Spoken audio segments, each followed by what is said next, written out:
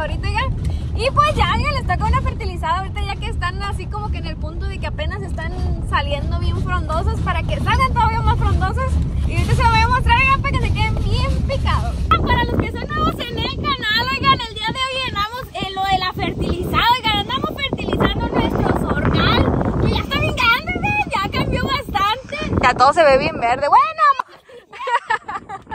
Es que esa arenita, arenita la tierra ya tiene mucha arena y por eso se hace amarillo. oigan. Hay diferentes tipos de fertilizantes, pero nosotros optamos por este que es el amoníaco en gas, oigan, y huele. Desde hace muchos años. No, me- a mí se me que huele gacho. A mí me encanta cómo huele, no sé por qué. Pero les quería decir, oigan, para los que no conocen y son nuevos, que esta es una nodriza. Nosotros a esto la llamamos y pues es con tirón, oigan, la, la puchamos con la troca.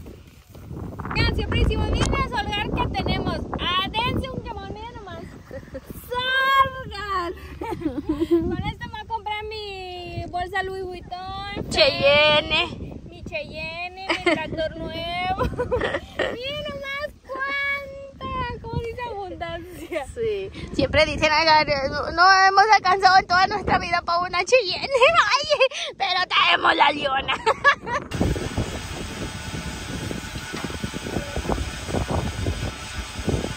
Pues para eso es esta bollota, oigan. Haz de cuenta que esta es la mamá y esta es la hija donde me escucha. Pero oigan, pues obviamente de aquí se le pasa a través de una manguera, oigan. Esto obviamente siempre lo tenemos que hacer con mucho cuidado y más que nada lo hace siempre mi papá porque dice, pa, no, que peligro no sé qué. no, Ya con, ta- ya con tantas cosas que le ha pasado. Sí, oigan, ya les hemos contado varias veces que ha estado a punto de irse con Dios nuestro Señor. Con San Pedro. Este es el gas, oigan, y si se llega a romper una manguera o algo, de cuenta que pues todo lo, lo inhala, ¿no? ¿Se puede Sí, y rip.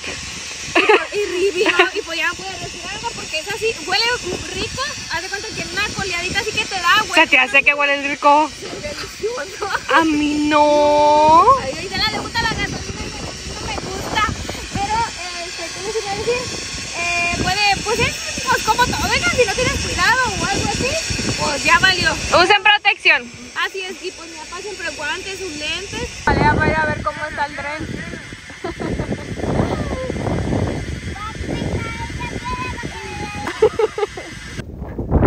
¡Imagínate! No, dime, dame. Oigan, pues aquí andamos con Isela, que anda chamuscando el sorgo. Miren nomás, oigan. Ay, de aquí arriba, oigan, todo se ve más bonito. A- a- Desde aquí arriba, oigan, la vida es más sabrosa. Pues aquí andamos, oigan, arriba del tractor. Y ustedes van a decir, no, pues nosotros bien seguros, oigan, que vamos tirando fertilizante, fertilizante. Pero oigan, este, les voy a enseñar una manera, bueno, todos obviamente saben, pero para los que no, oigan, uno puede ir bien, que vamos eh, fertilizando a todo dar y no, oigan. Bueno, nosotros le decimos la palomita, esa laminita, oigan, que está en el pulpito. Nosotros le llamamos pulpito a todas las mangueras que distribuyen el amoníaco hacia todas las patas. Y oigan, esta es la palomita, ahorita se los voy a indicar con una flechita. Pero oigan, esa tiene que ir. Esa cuando tú estiras y, se, está así es porque vas a cerrar, no, ya no estás tirando, oigan. Pero si tú das y que, ah, ya le diste el tarón, el tirón, oigan, a este mecate que está acá, este es el que jala el pulpito. Eh, ¿Cómo se dice? Tú le das el estirón y la palomita sigue parada como ahorita va. Vas a hacer un quemadero, oigan, de matas porque ya nos ha pasado. Ahí se le preferentemente. eh, nosotros bien seguras de que decíamos, no, hombre, ya avanzamos bastante. Ya llevamos como 10 hectáreas. Y no hemos cargado amoníaco. No hemos cargado boya, nada. Oigan, pues no iba tirando ni en todo el diésel que echamos. y- Así que hay que cerciorarse que realmente vayamos tirando, ¿eh? Sí. Imagínate, nosotros según ya acabamos toda la parcela y nomás tiramos una bolilla. Y, y vienes a verlo, oigan, y ni ningún cambio, pues ya sí, no. Y miren, algo miren, se muestra así. Se hace hielito, oigan. Hasta parece que anda nevando, pero es hielo realmente, miren. Está súper, súper fresquito, por eso les decimos que tengan cuidado.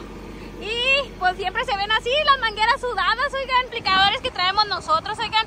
Mi papá le soldó estos patitas, oigan, para el hecho de que tapara, eh, porque antes nada más se usaba con este solo. Mi papá, oigan, le soldó estos dos para que fuera cubriendo el, el rayón que hacía, lo que se puede decir, esta pata. Y, y esta va echando tierra, oigan, y pues así evita un poco que se escape más el gas. Por eso que nosotros les, pusimos estas, oigan, y la mera verdad sí han funcionado bien. Son como unos asadones, ¿verdad? Parecen, pero usamos para eso, oigan, para que no se escape lo que es el gas. Tampoco no se ve bien perrón, miren nomás. Miren nada más.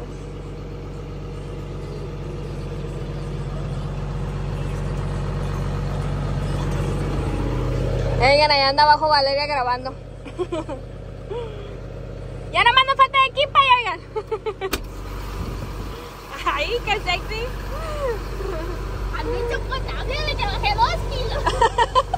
Oigan, bajó dos kilos y ya siente que anda como una, una varita.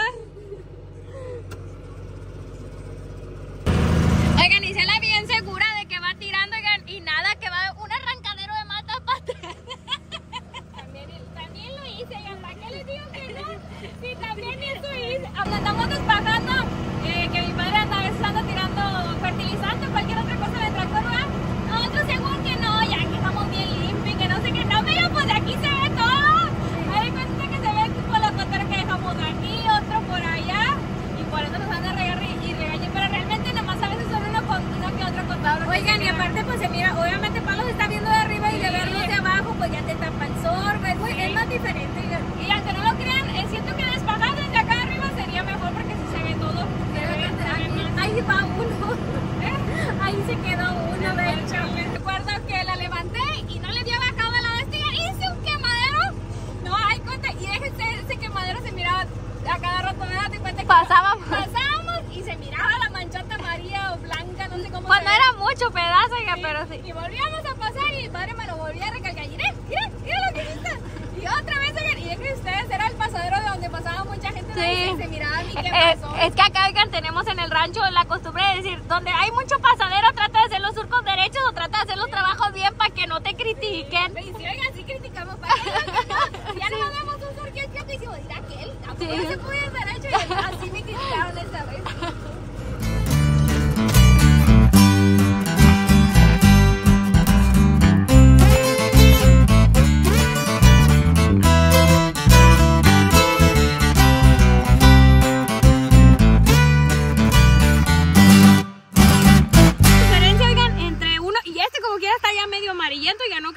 El, el verde oscuro que siempre mostramos, pero miren para que vean la diferencia, oigan, entre el amarillo, la planta tan amarilla que está, sí se ve, vean la diferencia. muchísima. Un buen, haz de cuenta que una, un güerito y un prietito. Ah, y nosotros somos los petos. Pero al güerito le falta Ándale, nutrientes. para que vean que nosotros los petitos, oigan, miren, fuertes estamos. Oigan, y van a decir ustedes, ¿por qué pasa esto? Oigan, normalmente es en las tierras más arenosas y aquí hay tierras muy arenosas porque hasta allá, oigan, también está amarillo, de qué lado parcela se ve también que hasta parece que le da los rayos del Sí. sol y no, oigan, es- esta es la diferencia. Pero pues aquí, oigan, se aplican fertilizantes eh, foliares, también estamos aplicando amoníaco y estamos aplicando también lo que es el ferroso, oigan, ya ven que el ferroso también cuando uno anda medio debilucho de la sangre, oigan, nos lo dan y nos ponemos como toros. Y es lo que le falta ferrosa al... Y es lo que andamos aplicando para esto tan amarillo. Es muy común por acá, por esta zona. Pero miren, y según dicen que las tierras arenosas que son así son buenas para los maíces. ¿Ustedes qué dicen?